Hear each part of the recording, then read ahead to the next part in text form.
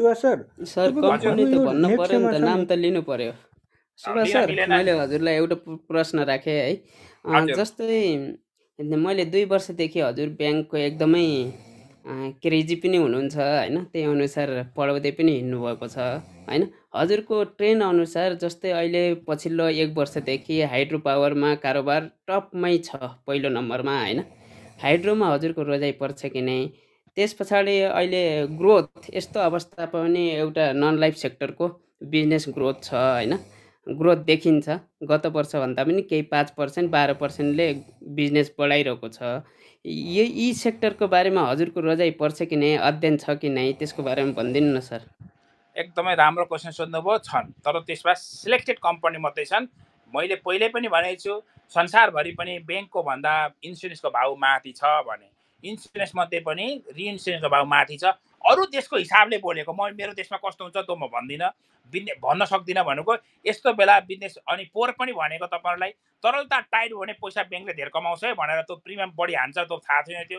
प्रत्येक बियरमा यसै गर्थ्यो हामीहरूलाई त्यस कारण त्यो अनुमान गरेर भनेको अहिले सेम त्यस्तै भएको छ। नन लाइफले रिस्क कम छ होइन रिस्क कम छ।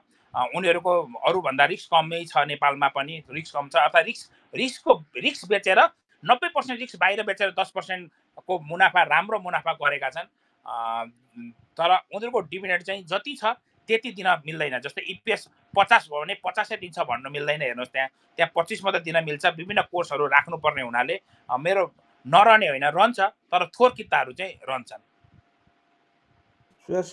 तपाईँले अस्ति हिजो पनि भन्नुभएको थियो तपाईँको हाम्रो यो नेप्सेमा दुई सयवटा कम्पनीमा मल्टिब्यागर स्टकै छैन भन्न खोज्नु भएको कि? हामीले पत्ता लगाउन नसके हो कि? कि त्यस्तो रिटर्न दिने कम्पनीहरू नभएकै हो?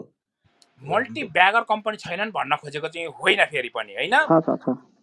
छन् मल्टिब्यागर कम्पनी मजाका धेरैवटा भइसक्यो मल्टिब्यागर कम्पनी तर भन्न खोजेको हाम- हामीलाई चित्त बुझ्ने गरी hundred percent fifty percent eighty percent dividend दिने विदेशी जस्तो कम्पनी चाहिँ छैनन् भन्न खोजेको।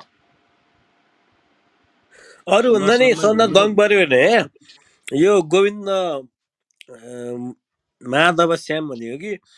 गोविन्द मोदर माधवेदी सबभन्दा एकदम गुगल पाइ भनेर चिन्ने थियो सुभाष सर आइसक्यो त्यो ल ल, सुभाष सुभाष सरले सर आइसक्यो बन्द हाइड्रोको बारेमा नै सुनाउ बोल न न हजुरको भ्यू अन्त सुभाष हाइड्रोको पावर हाइड्रो पावरभित्र के चाहिँ छ भने म त्यसको ब्यालेन्स सिट स्टडी गर्ने एउटा दुईवटा मैले स्टडी गर्ने मेरो रणनीति।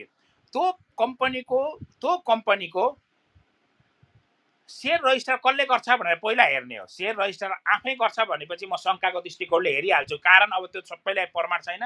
त्यो प्रमाण त छ नि तर मसँग प्रम मलाई थाहा चाहिँ छ तर प्रमाण नभएको कुरा म नबोल्ने भएकोले मात्रै यहाँ तपाईँले युट्युबहरूमा हालिदिनु रहेछ सबलाई। अब यस्तो भएको थियो मलाई थाहा छ। आफै सेयर होल्ड सेयर आफै आफ्नो सेयर आफैले रजिस्टर गर्दा सम्पूर्णको विवरण थाहा पाउँछ। कसको कति किता छ भनेर। एक हाइड्रो पावरका सबै